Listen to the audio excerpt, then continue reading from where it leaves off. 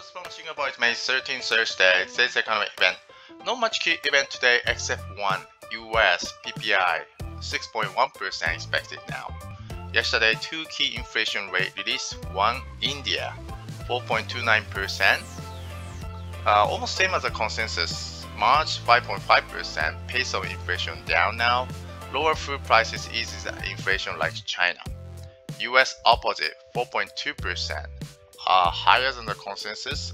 March 2.6%. Inflation pace really high now, highest level since 2008. These numbers. Vaccine COVID-19. Here's the top 10 uh, vaccine global ranking by countries. Not much change. But Singapore data was updated. 32% of population vaccinated, 23% fully vaccinated. Here's the top 10 Asian new cases ranking by countries. India still high at the same level. Japan went up. Equity commodity STI index price closed 3123 yesterday 0.6% down. City development short sell really high 55%. ComfortDelGro has a news yesterday price no change. Chairman said as a part of the strategy review, we look at the, its global portfolio to see where it can unlock value for shareholders, as well as invest in new tech like uh, renewable energies.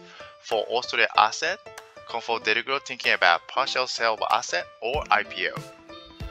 Genting Singapore short sell high. OCBC yesterday ex dividend day more than 2% down. ST Engineering yesterday Q1 new order exceeded pre-COVID level that was announced 0.5% up. Venture Wilmar hit the 3 months low again. Yesterday, Sea Limited uh, to replace Suntec REIT on MSCI Singapore Index on May 27. Those news was announced. Asia stock Yesterday, more than 1% up China Edge, more than 1% down India Nifty, Japan, Philippines, South Korea.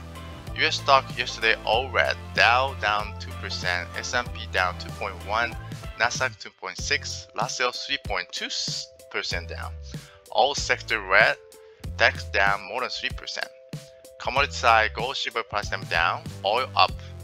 Future this morning are opposite, down S&P, Nasdaq up, and the commodity down. Currency side, 1 US dollar 1.33 Singapore dollars, USD appreciated. Yes, US dollar index up 90.77 now.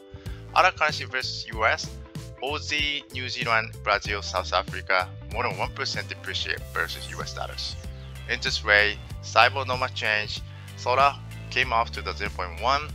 Private property home loan 0.99 for floating 1.14 for fixed, no change. Triple government bond yield 10 year one 1.55%, no change.